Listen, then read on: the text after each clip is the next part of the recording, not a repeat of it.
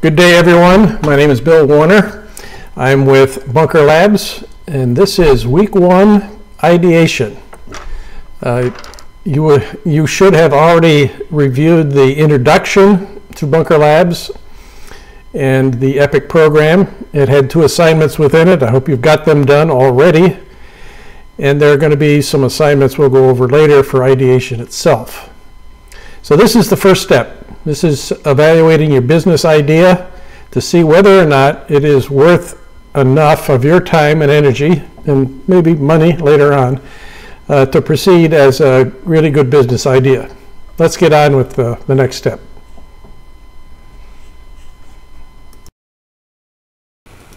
Now, you remember from your high school science or college science, whatever, you see it on TV all the time, that the universe started with a big bang. At least that's what a whole lot of scientists think. Well, it turns out that a business idea starts the same way. You have experiences in your life that the sum total of which, the cumulative effect of all of the experiences, sometimes reveals an idea that you really want to pursue as a business. And uh, you really don't know, many of you don't know well, how to go any further than that than just talk about the idea. So not only does a idea start with a bang, uh, something else has got to follow. And that is a bang that produces a good idea. A good idea. So what we're actually going to be talking about today is not the fact whether or not you've got a business idea, but whether or not it has any legs at all. Whether it's a good idea. Whether it has any possible chance of having commercial value. So that's what we're going to get into here right now. So how do you know whether or not your idea is any good or not? And we're going to help you figure that out by answering five basic questions about your idea and giving you then a chance to make an intelligent and informed decision as to whether or not you should proceed with it or not. The first question is what's the opportunity? Now, this establishes the premise for your business. The premise really is a description of the need that you're fulfilling the need that you're fulfilling. And it could be described in a couple of different ways. The need could be a problem you're solving for a person in public life or for a part of a, of a company that has the problem. So it's kind of starting with what the heck's the problem you're solving? And you describe this problem from the point of view of the buyer, the person having the problem. The second way is that you see an opportunity to improve uh, human life or, uh, or a, a process uh, or new capability for a company. So you describe it as an opportunity that's, that is going to make life better or business better. Either way is fine, but this is establishing the premise of why you exist as a business. Just to solve this opportunity or to grasp, or sorry, to solve this problem or grasp this opportunity. Second question is what are you offering? The solution, it's the solution to the problem or the fulfillment of the opportunity. What is it? What are you going to do? What product is it? What service it is? And you describe how it solves the problem. Now, they sound like two easy questions, but they're very, very important. And this is harder to do than you might imagine, and you'll discover that as you get into this. It's fun to do. But if you're able to describe these two answer, answer these two questions and in a compelling way, filled with data and facts and experiences that you can relate to people, you will have been able to get the attention of most anyone you will talk to about your business. If anyone asks you, okay, what do you do? The thing you're going to describe is the premise of your business and the solution you provide. Bam. You'll do that in 45 seconds and it'll get their attention in essence, it's the elevator pitch for what it is you're doing. And later on, you'll learn more about how to do an elevator pitch and you'll practice them. But these are very, two very important answers that you need to have. Then go on to say who the buyer is. Uh, the buyer is, is the person that makes the purchasing decision, and the sum total of those buyers make up the market you're in. More later on that. How will you win? How will you beat the brains out of your competitors? What are your advantages? And, and uh, uh, how superior are you to them so that it'll be very clear that you're going to win, they're going to lose, and uh, you've got a plan to beat them in the marketplace. Then finally, how do you make money? You want to know that you've got a proposition on your hands that you can sell whatever it is you're selling, a product or a service, and and uh, charge people a whole lot more than what it takes you to make it or service it.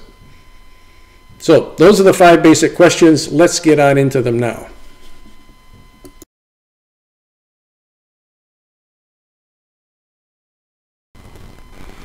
Let's first talk about the premise, the problem you're trying to solve. So there are a lot of questions you can ask yourself, but here are six you should certainly consider. If there are others that are unique to what you're what you're going to go after, add however many other questions you want to want to add to this. But first thing is, how do you know it's a problem? You you thought of it. Well, does anybody else think it's a problem? Maybe you talk to a few people that you think have the problem and get some ampli amplification from them on it as to whether or not this is something that bothers them enough that they would actually want a solution to. What lets you know it's a problem? What does it look like? What does it feel like? Is it can it be expressed with numbers? Can it be expressed with pain or impact, uh, social cause or the lack thereof? People are people are suffering for some reason. This is uh, in, in marketing terms. You may have heard the term uh, identify the pain.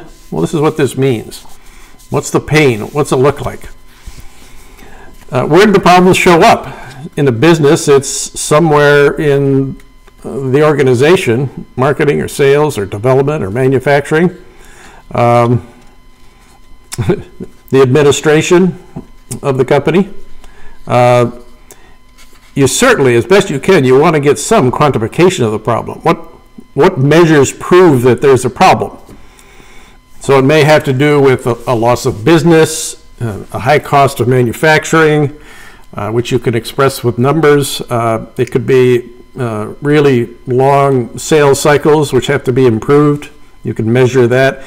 You can measure almost any of these problems uh, so you can quantify the impact.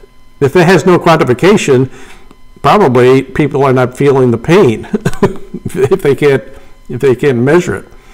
And then who is most affected by the problem within a company or with uh, with people in uh, public life. What kind of people are they? What positions in, in a business are affected and in what way? When does the problem most often occur? Uh, it could be seasonal. It could be during a during a, uh, a step in a process, whether it's manufacturing or sales or or marketing. Uh, identify where it is.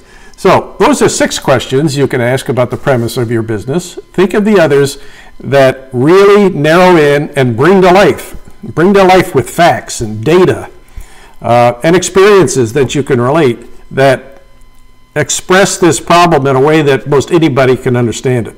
Then practice it on practice on yourself first, but practice practice it on people you know and see if see if it resonates.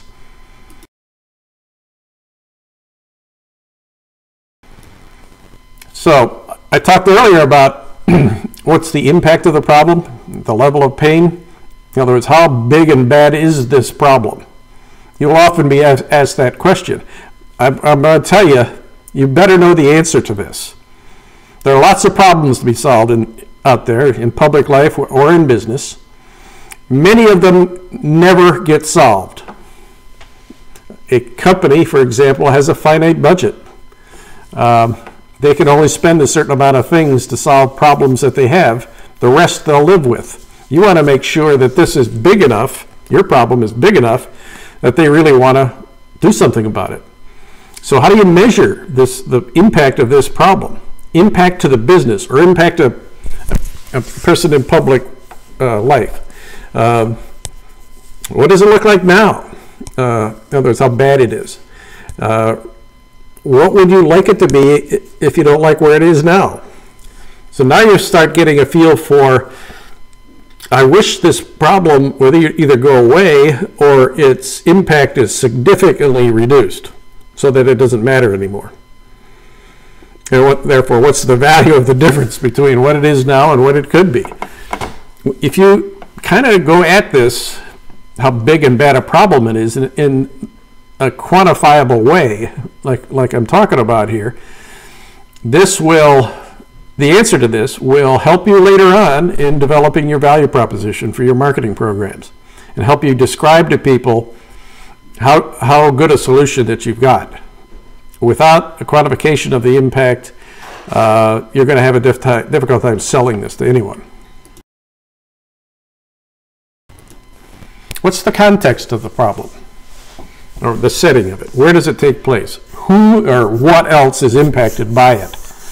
I don't mean by name, a person. I mean, within a business, what are the parts of the organization that are affected uh, by this, by the problem you might have, or might, in the case of an opportunity, or might that would have benefit from the solution that you're offering? Here's a good one, though. What has stopped them from addressing it already? That is a really important thing to figure out. They're living with it, or living without this thing you want to provide them. That's a great opportunity for them. Uh, so, why hasn't it been solved yet? You probably ought to know that. There may be a reason for it. That the reason could be it's not a big and bad enough problem for them to do anything about. So, what's the big picture here? What the context and and when you when you search this out, you talk to a few businesses, you really want to know is this a problem that, that is worth solving or not? And you got to get down and dirty with them. And are they do they have the need or the problem? Do they want a solution or do they see the opportunity and want to have it? And thirdly, are they willing to pay for it? Uh, Let's go on. And fourthly, pay for it now, not sometime in the future. Get that really clear right up front here. So, what if it's an opportunity? Um, well, what is it? Who will care about it? Let's. I have a very close friend who is also a, a, a fund executive of, a, of an angel group. I have, I have another one that is kind of a sister organization to his. And I often hear him, him ask entrepreneurs in the course of their presentation simple, two simple questions. Who cares? He would say. Who cares? What he means by that is who in the organization, who in public life gives a darn about this. And then he, then he goes on to ask the next question, which is so what? So what? How is this going to matter to, to them? So, in the case of an opportunity, who will care about it? Why will they care? What are they missing if they don't have your what you're offering? And what is, and therefore conclude what is the significance of this opportunity? So, when you're dealing with an opportunity, it's not like you're solving a problem, although often they do anyway or make life better. I mean, who'd have thought that we, our life would be better until the Apple iPhone came along? Um, that reinvented the telephone, for God's sakes. And, and we, you know, back in the, the days when the light bulb was invented, you know, I guess uh, we, we saw that opportunity. It took a long time to develop it, but but uh, it took a long time for people to understand that their life was going to be a whole lot better if they could have daylight at night. so, so, I'm rambling here a little bit, but describe the opportunity in the manner I just described. You, and these are the two ways you're going to establish the, present, the, the premise of your business. Okay, once you've got that, you want to talk about your solution, what it is you're going to offer. Now, this is not time for a science project. I'm not looking for how whatever it is you're building works or what the methodology is for the service you're about to provide people. What I want to know is if this solution really solves the problem. So is your solution unique? It should be. Uh, if it's not, then you're a me too out there, competing with others that have already solved this problem. You're going to have to be better them in some way. It'd be nice if you were unique.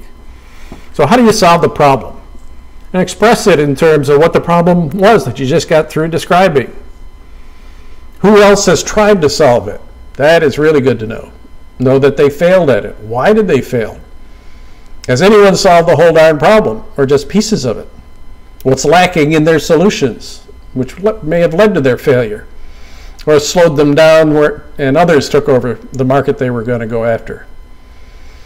What's different about your approach? This is really important in that later on, when you try to describe your competitive advantage, your differentiation, you need to know and be able to explain in really simple terms what's the difference in what you've got versus everybody else. And therefore, what is better about your approach? And quantifiably so. And we'll talk later about how to do competitive analysis so you actually measure that.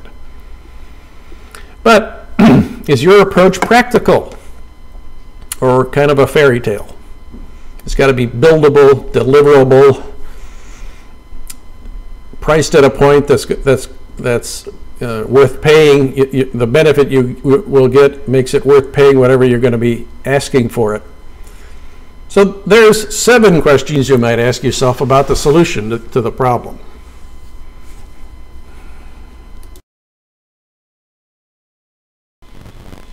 So a very important important aspect of your solution is its innovativeness. Is your solution innovative? It sure would be good if it is. Uh, and so therefore, what is your innovation?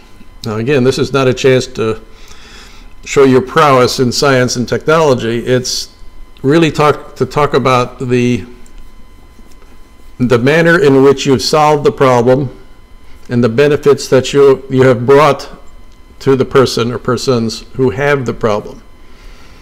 Not how it works again. We'll talk about that later. Uh, We're trying to figure out is this solution any darn good? Does it solve the problem or not? Stick to that. What do you see that no one else sees with respect to the way you've approached this solution? What do you uniquely know that no one else does and that you now are, are poised to implement and provide to them? What unique connections have you made that helped you find that out or helped you put it together? Uh, this is a time to talk about perhaps uh, people you've already worked with to design or innovate uh, your solution. It helps to know that some really smart people are working on this. And with, so, with whom do you collaborate in coming up with this innovation?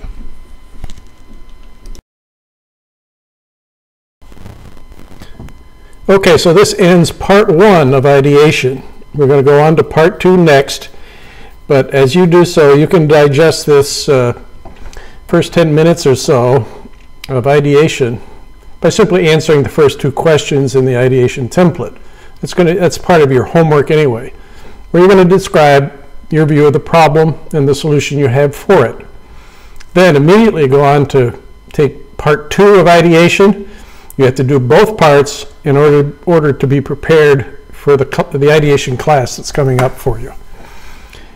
As a, as a, as a reminder, your contact information for your instructor is Innovation Center at faytech.edu at 919-522-0722.